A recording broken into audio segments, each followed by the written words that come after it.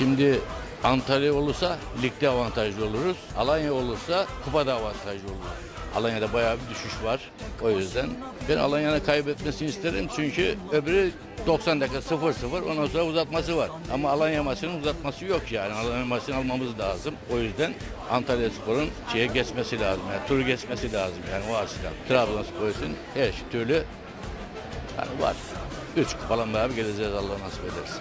Trabzonspor'un şu anki oynadığı futbolla ve oynadığı topun göze hoş gelmesiyle kupanın Trabzon'a gelmemesi imkansız bir şey. Mutlaka gelecek. Önümüzde şu anda bize rakip olacak bir takım bile yok. Antalya veya Antalya Spor hiç önemli değil. E, Alanya Spor ikisini de Trabzonspor'un gücüyle beraber kupa Trabzon'a gelecek.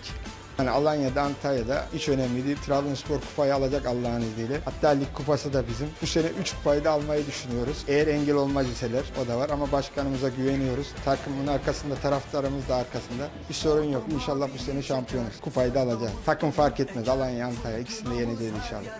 Bu kadroyla, bu inançla, bu motivasyonla güçlüyüz. Her bir şekilde bu bu kupayı ve şampiyonluğu da alacağız. E, Fenerbahçe yendiğimiz için e, özellikle uzun süre sonra yendiğimiz için çok mutlu olduk. İnşallah kupayla bunu taşlandıracağız.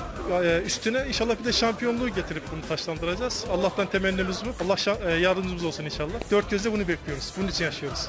Kupayı e, biz iki kupadan beraber taşlandıracağız. Hem lig kupası hem Türkiye kupası. İkisini de alacağız. Bir de süper kupamız var. Üç kupadan kapatacağız burayı inşallah. Temennimiz odur. Bu sene inanıyoruz yani takım olarak da taraftar olarak da şehir olarak da kupanın e, bu sene Trabzon'a geleceğine inancımız sonsuz. Ya biz zaten bu turu geçtiğimiz zaman kupayı alacağımıza inanıyorduk. Artık kupa bizim. Çünkü bizim için final maçı Fener maçıydı. Şampiyonluk kupasını da Trabzon'a getireceğiz. Son 10 yıldır bunu bekliyoruz. Süper Lig'in gerçekten en güçlü evet. takımı şu an Trabzonspor. Şampiyon da biz olacağız yani bu apaçık meydanda. Dalgalanır zaferi bize her yer Trabzon. Horon Yaşasın her yeri